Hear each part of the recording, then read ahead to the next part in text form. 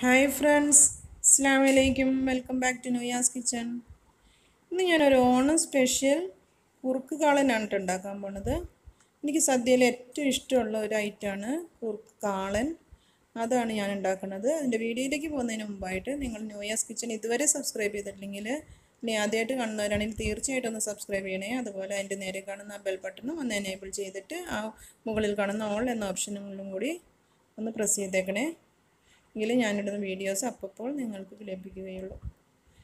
ഇനി ഞാൻ അതിനായിട്ട് എടുത്തിരിക്കുന്നത് ഒരു കഷ്ണം ചേനയും ഒരു പച്ചക്കായും ആണ് ഏത്തക്കായുമാണ് എടുത്തിരിക്കുന്നത്. നമുക്കൊന്ന് തൊലി കളഞ്ഞെടുക്കണം. ഞാൻ രണ്ടെണ്ണം എടുത്തിട്ടുണ്ട് കേട്ടോ. രണ്ട് ഏത്തക്കായ എടുത്തിട്ടുണ്ട്. എനിക്ക് ആ കായ ഒത്തിരി ഇഷ്ടമാണ് അതിന്റെ അകത്ത്. അതുകൊണ്ട് ഞാൻ രണ്ടെണ്ണം എടുത്തുന്നേ ഉള്ളൂ. ഒരെണ്ണം എടുത്താൽ മതിയാകും. ഞാൻ നമുക്കൊന്ന് അരിഞ്ഞെടുക്കാം. കാളലിൽ എപ്പോഴും ഇതുപോലെയാണ് അരിയണം ഒന്ന് ചെരിച്ചാണ് അരിഞ്ഞു കൊടുക്കുന്നത് കാളനിലാണെങ്കിലും ഇതുപോലെ കായ കായക്കറി വയ്ക്കണേലൊക്കെ ഇതുപോലെ ഒന്ന് ചെരിച്ചാണ് കേട്ടോ അരിക്കണത് ഉണ്ട് ഇതുപോലെ ഒന്ന് ചെരിച്ചരിഞ്ഞു കൊടുക്കാം. അതുപോലെ ചേനയാണെങ്കിലും ചേനയ്ക്കിപ്പോൾ അങ്ങനെ ഷേപ്പൊന്നും നോക്കാനില്ല കേട്ടോ ചേന നമുക്ക് ചെറു മീഡിയം സൈസിൽ അങ്ങ് അരിഞ്ഞെടുക്കാം. ഉണ്ട് ഇതുപോലെ അങ്ങ് അരിഞ്ഞെടുത്താൽ മതി.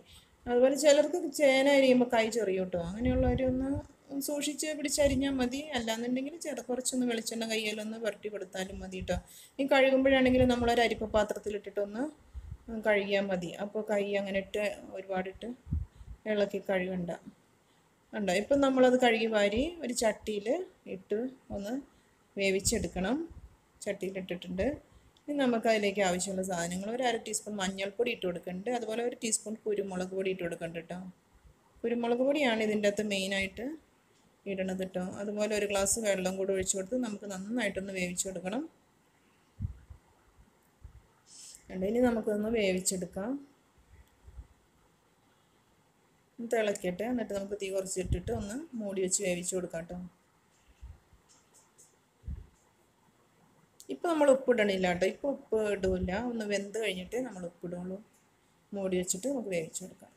ഇടയ്ക്കൊന്ന് ഇളക്കി കൊടുക്കണം കേട്ടോ. ഇപ്പം നമ്മുടെ വെള്ളമൊക്കെ പറ്റി നന്നായിട്ട് വെന്ത് വന്നിട്ടുണ്ട്. ഒന്ന് ഒരുപാട് ഉടഞ്ഞു പോകാൻ വേണ്ട എന്നാൽ നന്നായിട്ട് വേഗം വേണം കേട്ടോ. കായൊന്നും അങ്ങനെ ഉടഞ്ഞു പോകില്ല ചേന കുറച്ച് പിന്നെ ഉടയും അത് കുഴപ്പമില്ല. അതിന്റെ എപ്പോഴും അങ്ങനെയാണ്. കുറുക്ക് ഒരു ആ ഒരു കുറുക്ക് കിട്ടണമെങ്കിൽ അതൊന്ന് നന്നായിട്ട് വേഗം വേണം.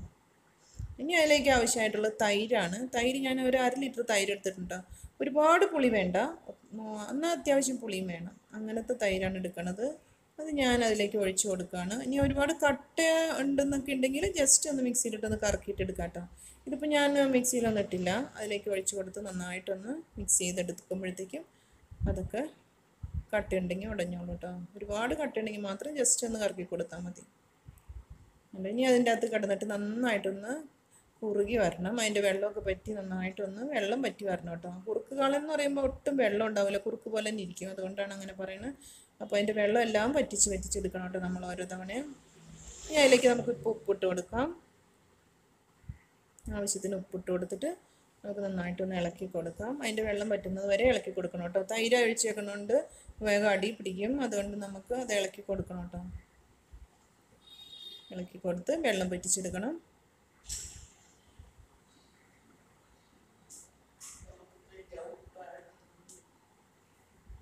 ഉണ്ട്. ഇപ്പോൾ അതിന്റെ വെള്ളമൊക്കെ കായൊക്കെ നന്നായിട്ട് വെന്തിട്ടുണ്ട്. അതുപോലെ വെള്ളമൊക്കെ പറ്റി തുടങ്ങിയിട്ടുണ്ട്. ഇനി നമുക്ക് അതിലേക്കുള്ള അരപ്പ് ഞാൻ ഒരു അരമുറി തേങ്ങ എടുത്തിട്ടുണ്ട്. അതിലേക്ക് ഒരു രണ്ട് പച്ചമുളക് ഒരു കാൽ ടീസ്പൂൺ ജീരകം നല്ല ജീരകം. കാലിട്ട് അര ടീസ്പൂൺ എടുക്കാം കേട്ടോ. കൂടുതലുണ്ടെങ്കിൽ അതിനനുസരിച്ച് എടുക്കാം. അത് നന്നായിട്ട് അരച്ചെടുക്കണം. ഉണ്ട് ഇപ്പം നമ്മൾ തൈരൊക്കെ കിടന്ന് നന്നായിട്ട് കുറുകി വന്നിട്ടുണ്ട്. നന്നായിട്ട് കുറുകി വരുമ്പോഴത്തേക്കും നമുക്ക് ഇനി അരപ്പൊഴിച്ച് കൊടുത്താൽ മതി കേട്ടോ. വെള്ളം നന്നായിട്ട് പറ്റിയതിന് ശേഷം മാത്രമേ അരപ്പൊഴിക്കാവുള്ളൂ. അല്ലാന്നുണ്ടെങ്കിൽ ഒരുപാട് വെള്ളമായി പോകും. അതുകൊണ്ട് അരപ്പാണെങ്കിൽ നമ്മൾ കുറച്ച് വെള്ളം ഒഴിച്ചിട്ട് വേണം കേട്ടോ അരച്ചെടുക്കാൻ. തീരെ വെള്ളം കുറച്ച് അരച്ചെടുക്കണം. അങ്ങനെ നമുക്ക് അരപ്പും കൂടെ ഒഴിച്ചു കൊടുത്തിട്ട് നന്നായിട്ടൊന്ന് ഇളക്കിയെടുക്കണം.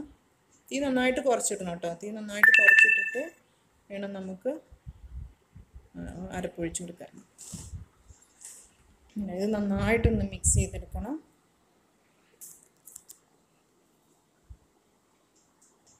നന്നായിട്ടൊന്ന് മിക്സ് ചെയ്തിട്ട് നമുക്ക്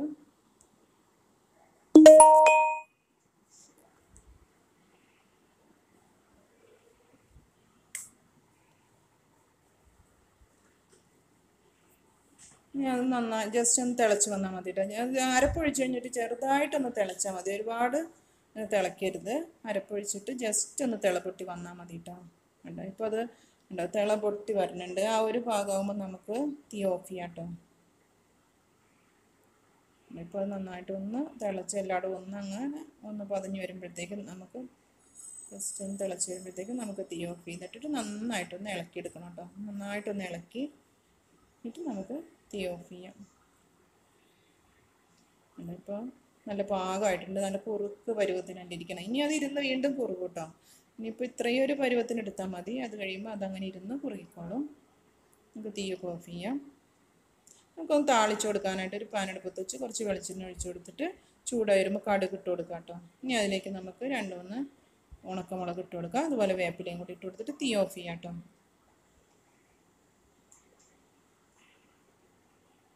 എന്നിട്ട് അതിലേക്ക് ഒരു കാൽ ടീസ്പൂൺ ഉലുവപ്പൊടിയും അതുപോലെ ഒരു കാൽ ടീസ്പൂൺ മുളക് പൊടിയും കൂടി ഇട്ട് കൊടുക്കേണ്ട കേട്ടോ ഉലുവപ്പൊടി ഇല്ലാന്നുണ്ടെങ്കിൽ ആ കടുക് പൊട്ടിക്കുമ്പോൾ ഉലുവ തന്നെ ഇട്ട് പൊട്ടിച്ചു കൊടുത്താലും മതി. എന്നിട്ട് നമുക്ക് അതിലേക്ക് ഒഴിച്ചു കൊടുക്കാം.